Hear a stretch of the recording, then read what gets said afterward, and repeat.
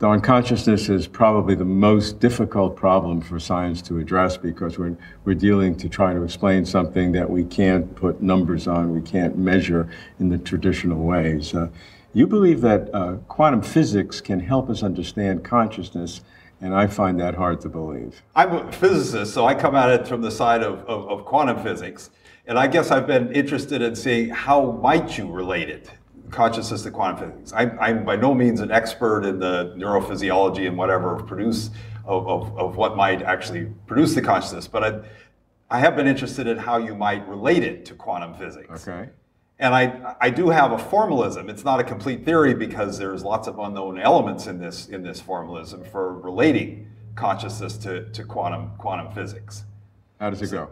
So basically, I would say in, in, in the quantum physics, we have something called a dynamical theory. It, it's, it's a relationship between things that are called quantum operators, which unfortunately I don't really have time to explain mm-hmm. here, but it, it, it, it's, it, it, basically tells how does the world evolve? How does it change with mm-hmm. time? What are the rules? If you know what the universe is like at one time, how can you get it at a later time? And these rules also work backward, by the way. If you know it at one time, you could, in principle, you could get it at, at, at some past time. So those are the dynamical laws of physics.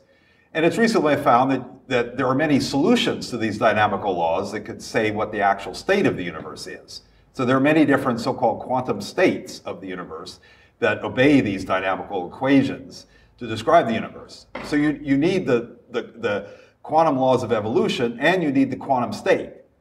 But I would say that's not enough because consciousness is a very real phenomenon.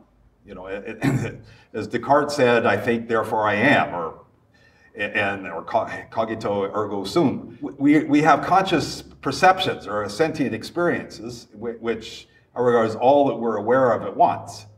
And so to connect this, I just propose that each one of these conscious perceptions has a measure, which is it's a little hard to describe, but it's sort of how much does each one of these exist? Is it probable or improbable? So each conscious perception has a measure, that's given by what's technically called the expectation value of a quantum operator in the quantum state of the universe. So, so, so, you're dealing with the quantum state of the universe. You're not dealing with the quantum state within molecules within our neurons of, of the brain, because some people who make the claim that you need to understand quantum physics to understand consciousness work with neurons and, and parts within neurons to, to explain how quantum processes are, are working.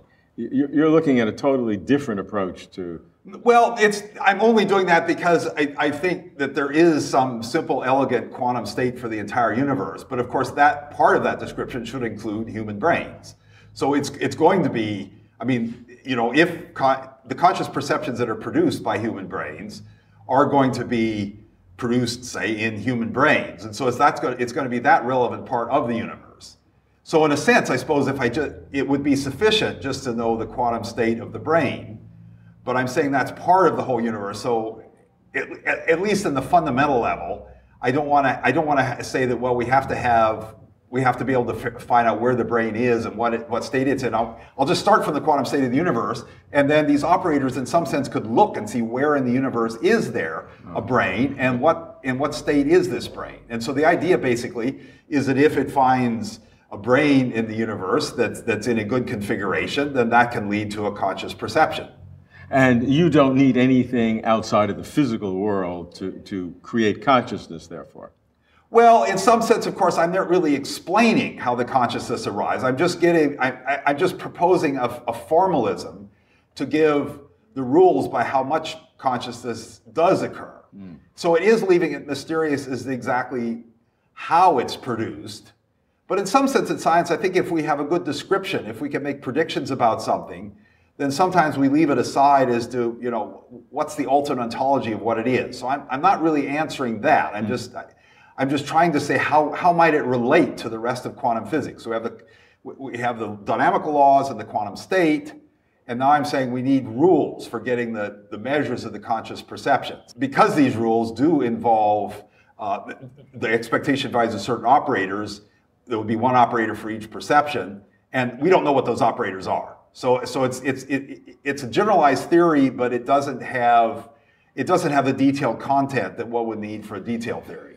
Your understanding of the quantum physics of consciousness, if that is a way of at least understanding it, does that have any relationship to your belief that there is a God? that created the universe? Is there any, or, or is it totally independent of that? I think it could be logically independent of that. I mean, of course, it's part of my total belief Sure. that God creates the whole universe, including the quantum state, the dynamical laws, the, the rules for getting the measures of conscious perceptions, and the conscious perceptions themselves. So I But if, believe qua- God. but if quantum physics were a brute fact and there were no God, you'd have the same argument. Yes, I think I, I, as far as I can see, my ontology as to the quantum wor- world and the and the conscious perceptions, it's not logically dependent on the view of God, and and uh, of course it's very hard to say if you know if if I'd somehow been raised differently and didn't believe it's hard to say what beliefs I would have come up with, but but I don't see anything inconsistent with either theism or atheism in this picture.